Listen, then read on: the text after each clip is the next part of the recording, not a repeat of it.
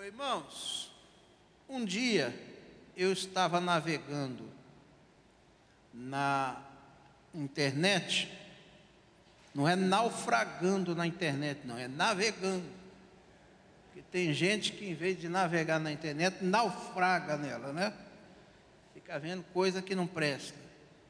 Então eu estava navegando na internet, aí vi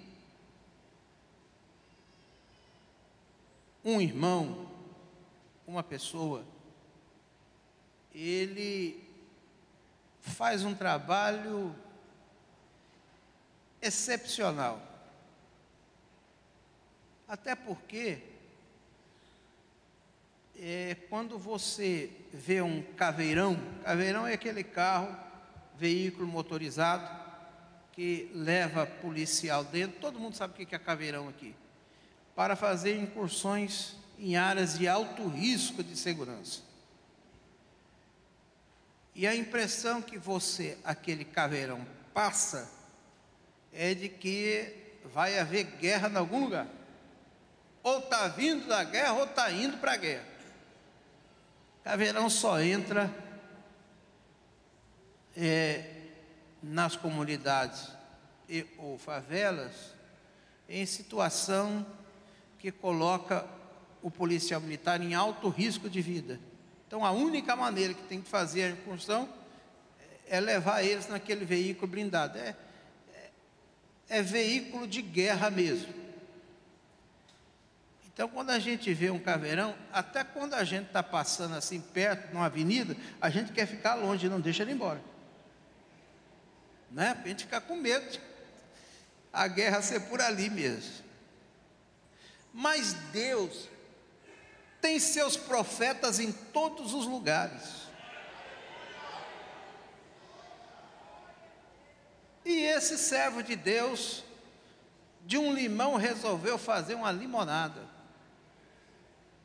Falou, gente, isso aqui vai ser o instrumento que Deus vai me dar para ganhar almas para Jesus. E ele causa um impacto tremendo, porque ele sai dali de dentro do caveirão, sem som, sem instrumento, sem playback, sem nada, e abre a sua voz e canta louvores ao Senhor. E aí, alguém improvisou ali num celularzinho mesmo, baixo, uma coisa ali, faz aquela gravação. E acabou isso, foi, entrou nas redes sociais e literalmente viralizou, como diz aí fora. E aí eu fiquei, falei, gente, eu tenho que conhecer esse canela de fogo, porque eu sou apaixonado por pessoas que são diferenciadas. E isso serve de estímulo para todos os irmãos. Ele poderia estar ali, naquele confronto e reclamando de Deus e do mundo. Mas não, ao contrário, ele leva a palavra de Deus de uma maneira poderosa, através da evangelização. Eu vou pedir aos irmãos para terem um pouco de paciência, porque um veículo de comunicação de grande repercussão, tomando conhecimento pelas redes sociais do trabalho que ele fez, o chamou e fez uma entrevista com ele. E eu vou pedir para colocar aí no vídeo da igreja, para vocês tomar. Quem não tomou conhecimento vai tomar agora. Mas quem já viu isso aí na internet? Levanta a mão bem alto. Quem já viu? Faz assim, faz assim, bem alto. Então tá bom. Os que não viram vão tomar conhecimento agora. Olha que coisa maravilhosa que Deus faz quando um homem se coloca na posição de atalaia. Celebridade na internet. O talento está na voz, na alegria deste homem. Mesmo sem décimo terceiro, está cantando para espantar todos os bailes. Veja nessa reportagem pois o que chora aos pés da cruz, clamando. Ele tem um vozeirão. Alcançará de ti, Senhor, misericórdia, graça e luz. Este policial militar está arrebentando nas redes sociais. O Pai mandou pra dar louvor meu Rei Jesus. Este vídeo tem quase 4 milhões de visualizações. Firme nas promessas do Senhor, eu continuo olhando para ti. Este outro vídeo já foi assistido por mais de 6 milhões e meio de pessoas. E ainda se vier noite traiçoeira, se a cruz pesada for. Fomos até o batalhão de Belfor Roxo para conhecer o cantor PM, ou melhor, o PM cantor. Quão grande és tu, Senhor, quão grande és para mim. O Paulo tem 48 anos, 23 dedicados à Polícia Militar. Mas a paixão pela música começou ainda mais cedo. Aos 12, ele já cantava na igreja. E Paulo, você nunca pensou em ser cantor gospel profissional? Olha, apesar das pessoas me indicarem sempre o caminho do, do estúdio para fazer um CD e tudo, particularmente eu não me considero um cantor, não. Eu acho que eu sou um camarada afinado e, e mais um que Deus tem usado nessa terra, mas não um cantor. O homem canta bem mesmo? Oscar canta muito bem. É o nosso subcantor aí. Show de bola. De música eu entendo muito, é de reportagem. Você é barítono, soprano, tenor. O que, que você é? Bom, dizem que eu sou tenor, né? Ah, igual o Pavarotti, é isso? É, dizem, dizem, dizem.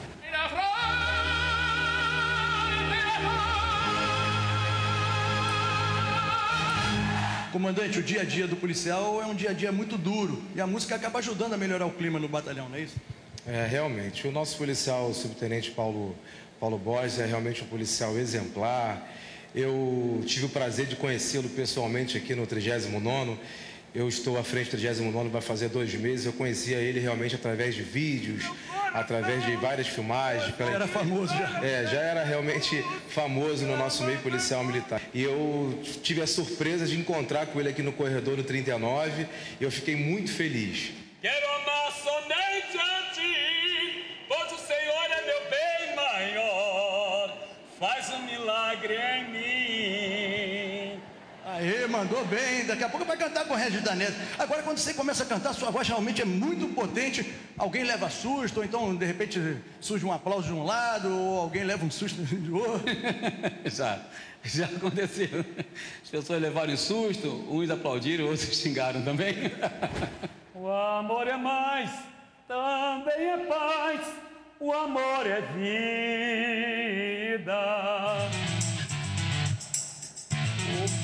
Bom, gente. Os colegas já estão acostumados. O Paulinho sempre é de muita bênção, né? Quando a gente está compenetrado aqui no serviço, quando ele chega cantando, até alivia a tensão. É sempre acostumado muito... já. Sempre, sempre, sempre. Já imaginou o Paulo dando voz de prisão? Você está preso, coloca as mãos para trás. Até assusta o bandido, né? Assusta sim, com certeza. com certeza ele assusta sim. Eu acho que até intimida, né?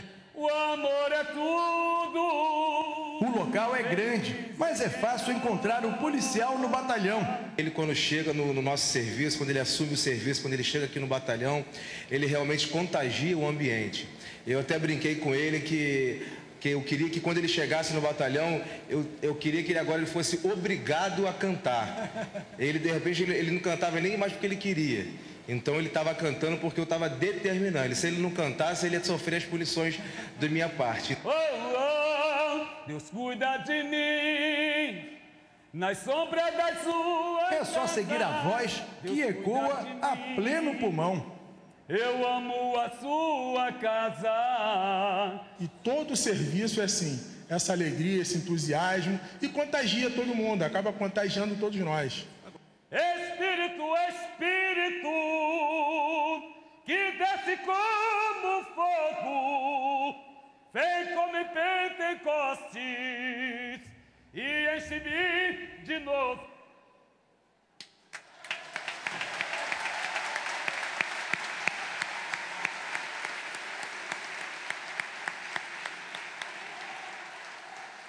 E eu mandei os obreiros ir à procura dele. E o pastor Timóteo achou.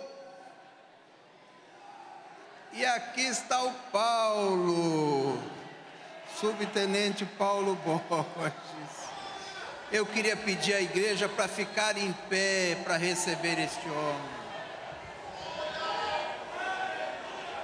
Vamos receber com uma linda salva de palmas. Paulo, vem cá.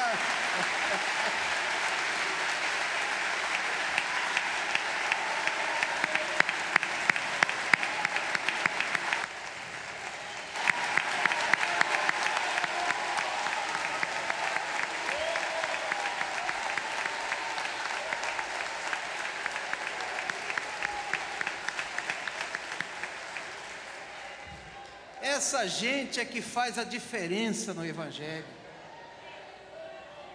Um homem desse faz um trabalho que nenhum de nós podemos fazer. Ele usa da sua profissão um instrumento para ser um profeta. Glória a Jesus. Ô Paulo, eu fiz questão de te trazer aqui para dizer da minha admiração e do meu respeito por você. Você para mim no reino de Deus é muito maior do que eu. Porque você faz um trabalho maravilhoso. Aquilo ali não é somente para as pessoas que ouvem, não, para todos nós. Aquilo é uma injeção de ânimo na nossa veia. Né? Então eu queria te prestar essa homenagem, que essa igreja lhe aplaudisse, orasse por você. E lógico, nós queremos ouvir você cantar também, não é?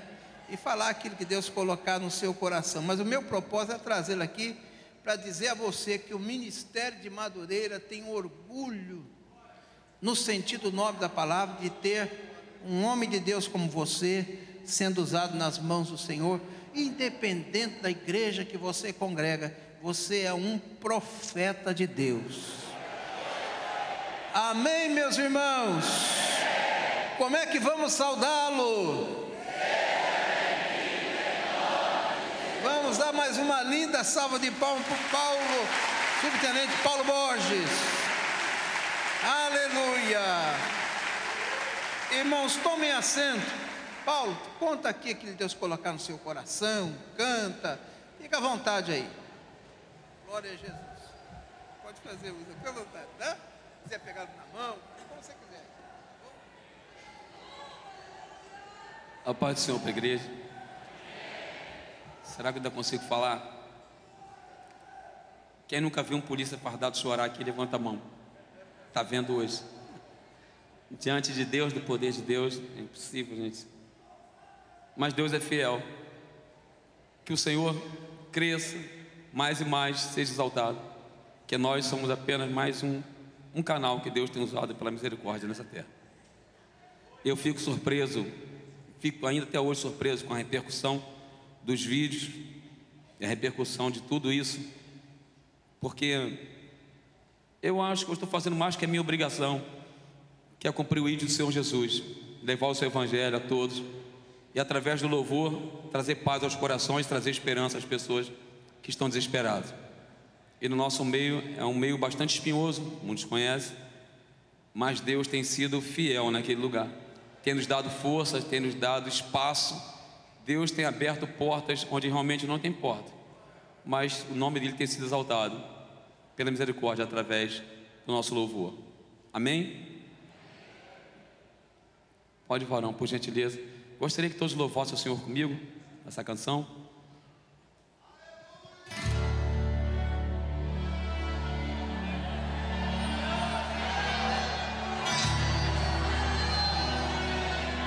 Aleluia.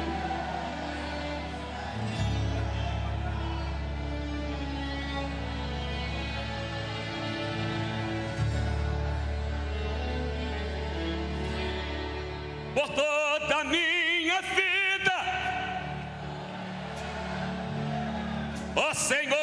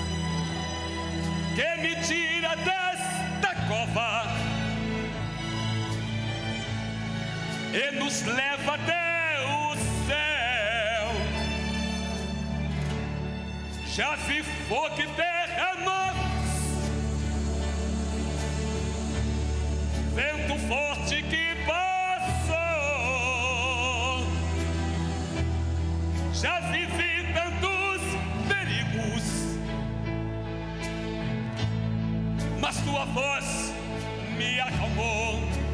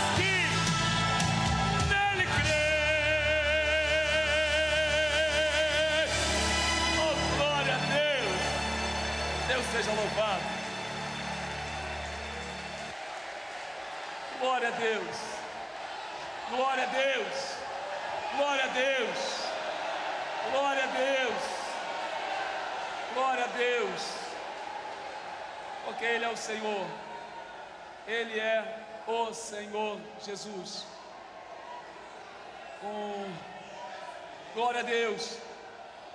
Deus faz como Ele quer, da maneira que quer, usa as pessoas como Ele quer.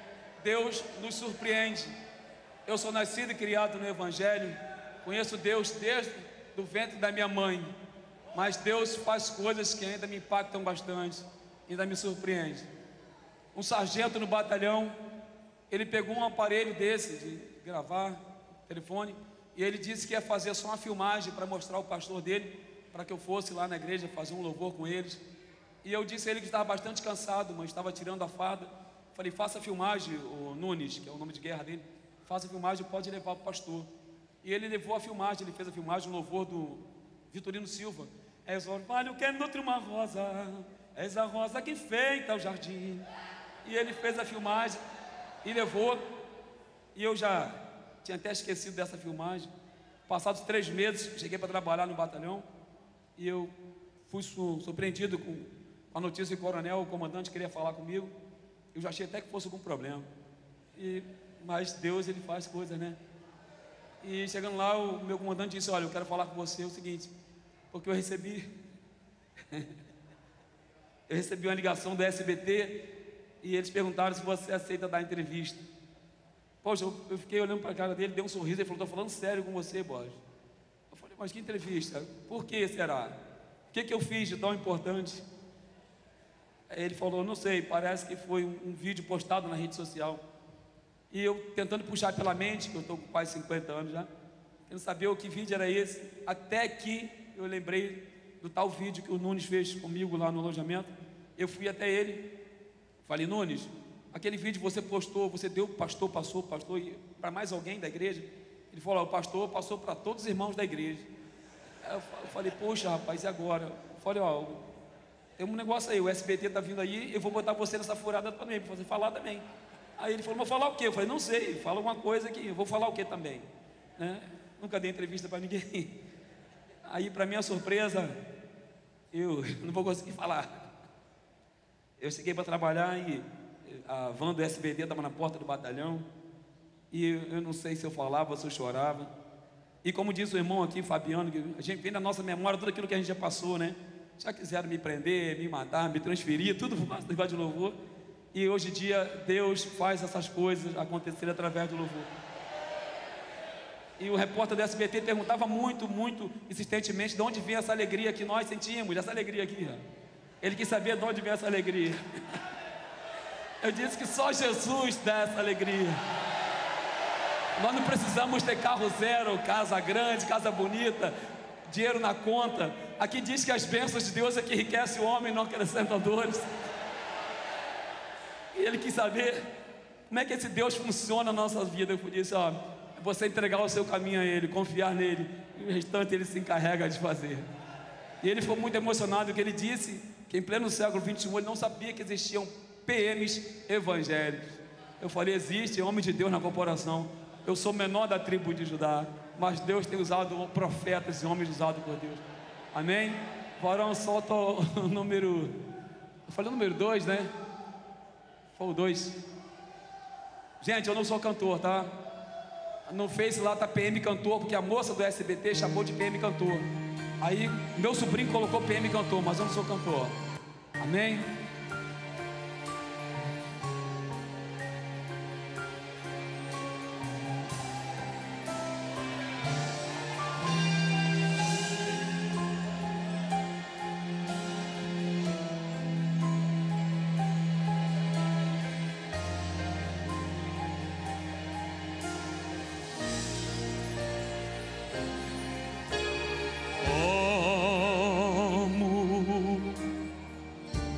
Agradecer por tudo que fizeste a nós.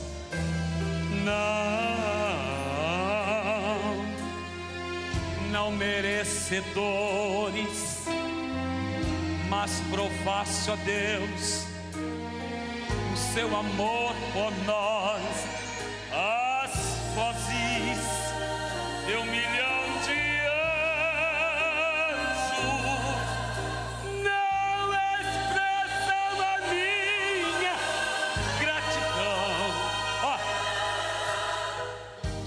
Sou e o que almejo ser. Quem devemos? Eu devo tudo a ti. Cante comigo assim, ó. Até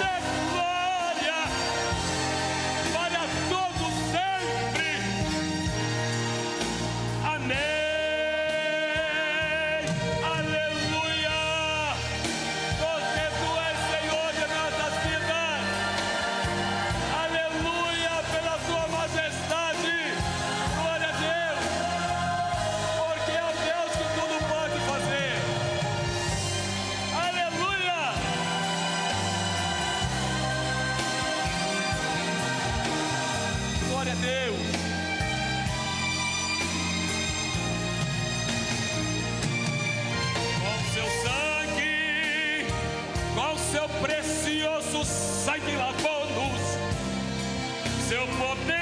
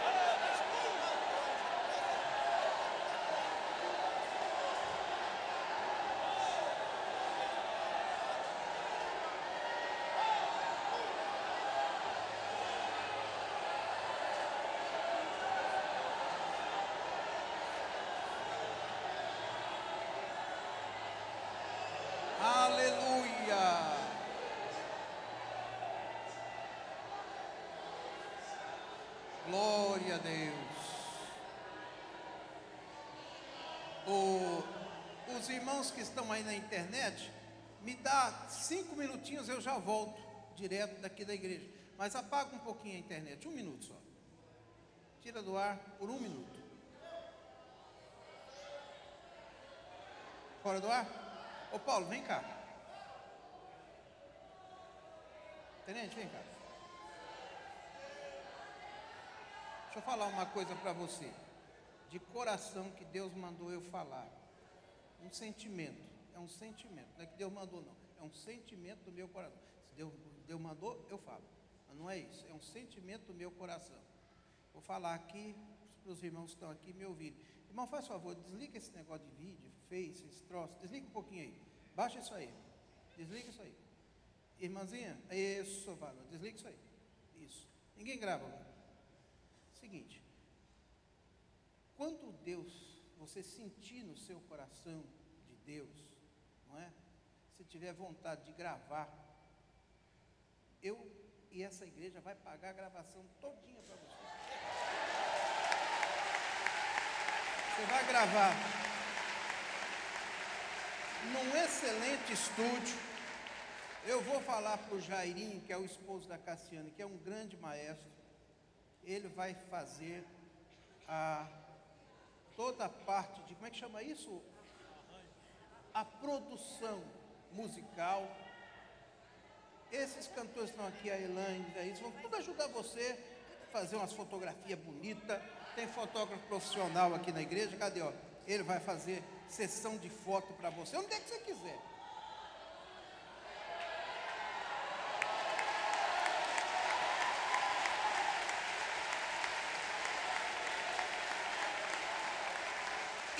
Mais,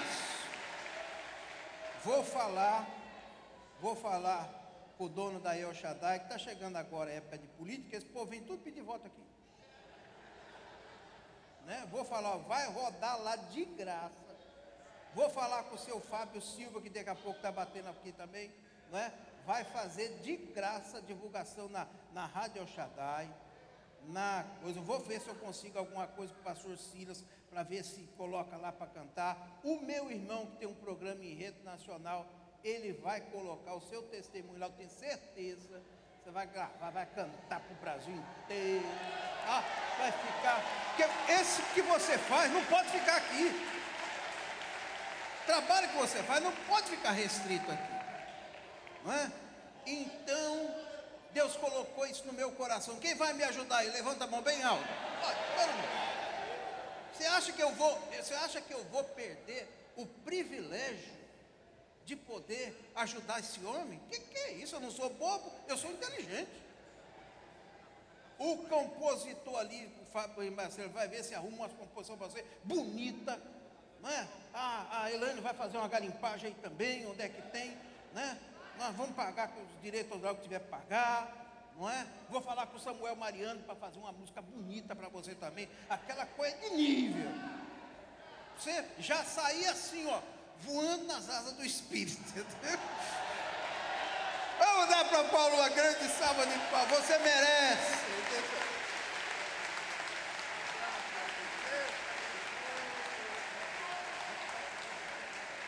tirar uma foto.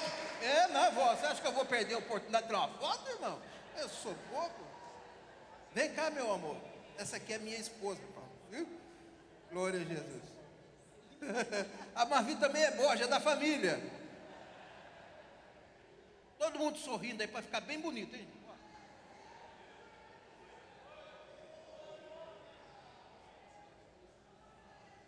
Tem mais alguém que quer tirar foto que está aqui em cima? Então vem logo, vem logo. É agora ou nunca. O Orivaldo está distraído ali. ali. O Orivaldo não chegou ainda não, Nisso. Ô Nício, o Orivaldo não chegou ainda não. Está ali, vai adiantando. Está lá pelo planeta Júpiter. Passou pelo paraíso, tá? Devagarzinho chegou, chegou. Ô João, você não quer tirar foto não? Você é bobo, rapaz, segura aí. Isso é uma foto histórica. Não, aqui da minha frente também não. Vai sair da minha frente. Não, senhor. Na minha frente? Não, senhor. Mas, ó. Peraí. Ô, Everaldo, vem cá também, que se você é presidente de partido, na hora X eu vou chegar no irmão também para nós conversar. Louvado seja Deus. Isso aqui vai tudo, é dentro de uma sabedoria, não tem nada com isso. Nós estamos fora do ar, ninguém está gravando nada, não é para gravar nada aqui. Isso aqui é um assunto nosso aqui.